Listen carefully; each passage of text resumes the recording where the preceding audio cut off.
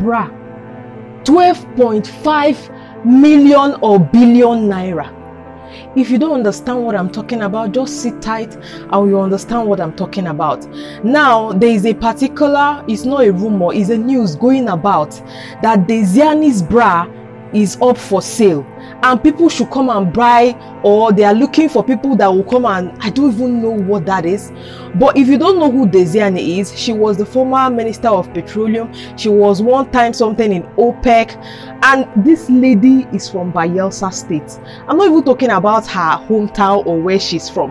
But my challenge is the assets she has now she has plenty houses. She has uh, plenty houses in port harcourt abuja this that that. One particular person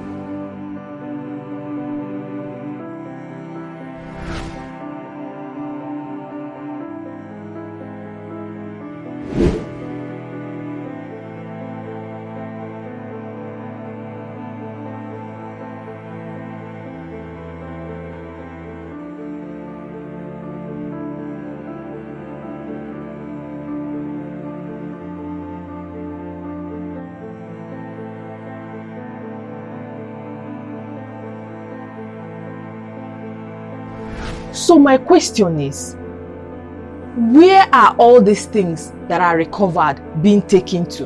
Now, if Diezani's bra is being sold, if Diezani's houses are being sold, please, where is it taken to? Because that's how we have been hearing of Abacha loot, Abacha loot, Abacha loot. We don't know where Abacha loot is taken to. We don't even know where Abacha loot is. Now, I also want to ask, where is Abacha loot?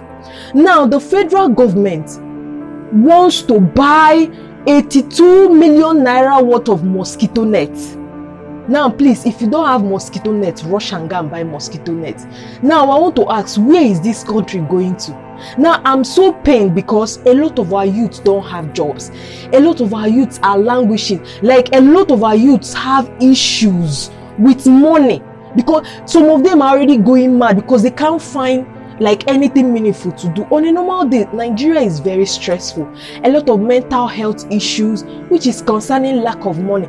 And then one person has a bra that costs 12.5 billion naira. And then our federal government is saying that they need 82 billion naira to purchase mosquito net. Please where are we going to? It's a question that everybody needs to ask themselves. Now i also want to ask it's like other people like we escorted these people to come to nigeria. Because places like ghana you know dubai or african countries they are doing better and they are even way older. But with the resources that we have the the, the resources just goes to a small chunk of nigerians and then the large number of nigerians are left penniless. Please tell me in the comment section what you think about these two things because as i am like this tired. Bra, 12.5 billion. See you later and God bless you.